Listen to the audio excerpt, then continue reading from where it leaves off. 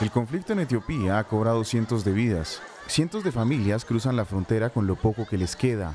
Son miles los que emprenden un nuevo rumbo hacia el vecino Sudán, en algunos casos a pie, una travesía.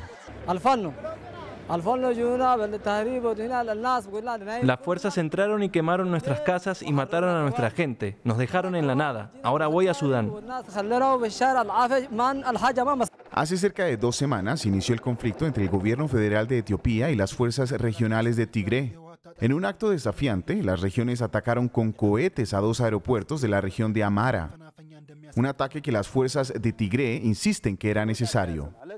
Como ya hemos dicho antes, para poder frustrar la invasión de Tigre, nuestra defensa está tomando medidas proporcionales. Basados en esta decisión, ayer en la noche atacamos los bloques militares de los aeropuertos Gonder y Bahir Dar. Ahora crece el miedo de que el conflicto se extienda hasta la frontera con Eritrea. Esto luego de que se reportara que diplomáticos en la región dijeron que tres cohetes habían sido lanzados a un aeropuerto de la capital de Eritrea, Asmara. Esto se dio justo después de que el gobierno regional de Tigré advirtiera sobre un posible ataque. El Frente de Liberación Popular de Tigré tiene una historia tumultuosa con Eritrea. Estaba en conflicto con el país vecino desde 1998 hasta el año 2000. Ahora, el grupo acusa al primer ministro etíope, Abiy Ahmed, de recibir apoyo militar de Eritrea, algo que su país rechaza enérgicamente.